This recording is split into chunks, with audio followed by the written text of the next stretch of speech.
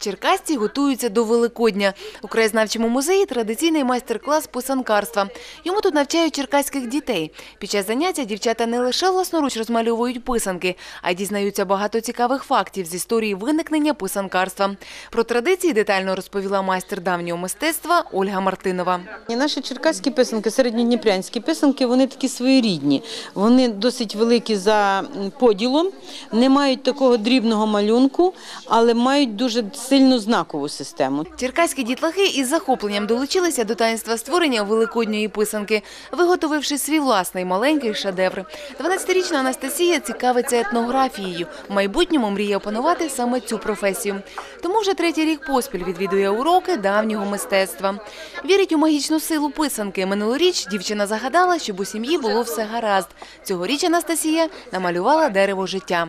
На мою думку, коли малюєш, коли ведеш якусь лінію, ти повинен дати е, о чомусь е, дуже приємному тобі, або тому, що ти хочеш, е, що ти бажаєш цій людині, що хочеш подарувати, або що ти хочеш, щоб в тебе було в житті. Можливо, навіть якусь мрію твою.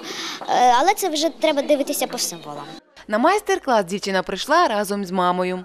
Бо нам цікаво, і Пасха для нас це велике свято, щоб воно було більш таким святковим, скажімо так. Саме для цього ми і приходимо. Для того, щоб можна було не просто підписати листівочку, а так, щоб подарувати своїм ближнім е, крашенку або писанку з якимось побажанням. Майстер давнього мистецтва Ольга Мартинова запевняє, писанки, зроблені власними руками, мають магічну силу. Раніше їх дарували на знак перемир'я, побажання здоров'я та краси. Вони здатні оберігати людей від лиха та створюють позитивну атмосферу у родині.